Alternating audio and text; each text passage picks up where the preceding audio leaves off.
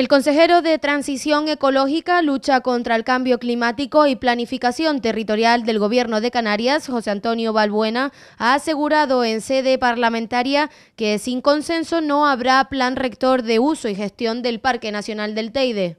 Nuestra prioridad es llegar al acuerdo y, por lo tanto, no habrá PRUC si no hay acuerdo. Y el acuerdo se va a alcanzar. Por lo tanto, la primera mala noticia para el Grupo Popular, el Gobierno va a garantizar un acuerdo con todos los colectivos, absolutamente con todos porque la escucha es nuestra premisa en todo lo que hacemos.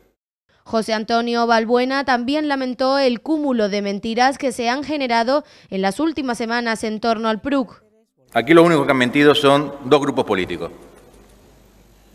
Los colectivos, ninguno ha mentido. Y yo no he escuchado ningún tipo de protesta, ni de, ni de queja, ni de comentario que diga que algún colectivo está mintiendo. Para nada.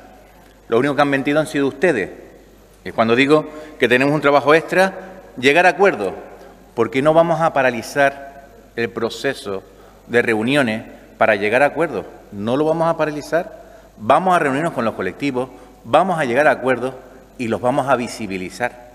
Por lo tanto, no vamos a parar el proceso, que ahora el proceso que queda es el proceso de llegar a acuerdos. Balbuena negó que se vaya a prohibir el acceso al Teide, que se vaya a construir mamotretos dentro del Parque Nacional, que se vaya a cobrar por las visitas o que se prohíba correr en este espacio. Se ha dicho que se va a prohibir el acceso al Teide, que lo vamos a cerrar. Apartado 5.3, páginas 17 y 18. Se puede acceder a pie libremente en las zonas de uso moderado, las zonas de uso especial y las redes de sendero que están en la zona de uso restringido.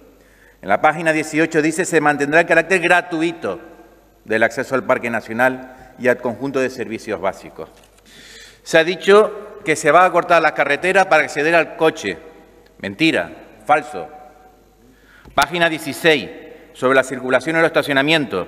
La circulación por carretera será libre para cualquier vehículo en el Parque Nacional, por lo que se garantizará el derecho de tránsito de quienes deseen utilizar cualquiera de las carreteras.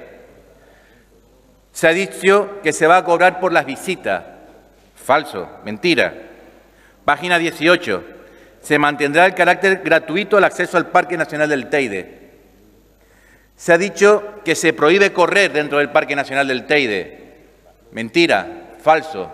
Lo que hay es una regulación para los entrenamientos de carreras de montaña, pero se puede correr libremente por el Parque Nacional del Teide. Se ha dicho que se va a prohibir el acceso al pico. Mentira, falso. La página 17 y página 18 lo que establece son un horario de funcionamiento para la visita con, autorización previa como está en la actualidad. Acceden en torno a 65.000 personas al año al pico del Teide y con esta regulación se permite con un tramo de 50 personas máximo por hora que puedan acceder hasta más de 100.000 personas al pico nacional del Teide.